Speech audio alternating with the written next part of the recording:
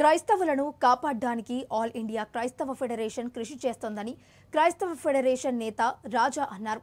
Somajiguda press క్లబ్లో ఆయన మాట్లాడుతూ క్రైస్తవ హక్కులను కాపాడడానికి కృషి చేయాలన్నారు. క్రైస్తవులు ఇతరులకు మార్గదర్శకంగా ఉండాలని తెలిపారు.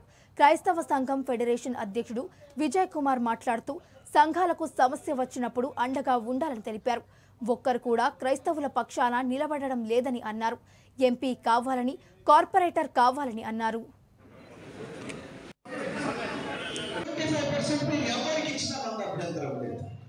అలాగే సిఎస్ఐ కానీ వెస్లీ కానీ ఏ మెయిన్ డినామినేషనల్ మెయిన్ లైన్ చర్చెస్కి సంస్థలు ఉన్నాయో ఆ రాసుకోవాలి బ్రదర్ అన్ని ఫైవ్ పర్సెంట్ ఖచ్చితంగా క్రైస్తవులు మాత్రమే ఉండాలి.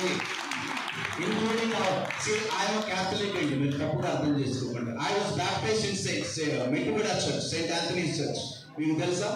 తెలియదు ఓకే నా సాక్ష్యం కూడా నేను పంచుకున్నాను. క్యాథలిక్ హబ్లో ఉంటుంది. I was baptize by father Bala okay so though I do not practice Catholicism my roots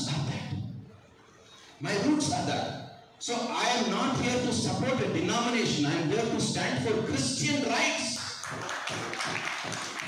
మన డినామినేషన్స్ మనం కాపాడుకుందాం ట్వంటీ ఫైవ్ పర్సెంట్ మీరు ఎవరికి ఇచ్చినా మనకు అభ్యంతరం లేదు అలాగే సి-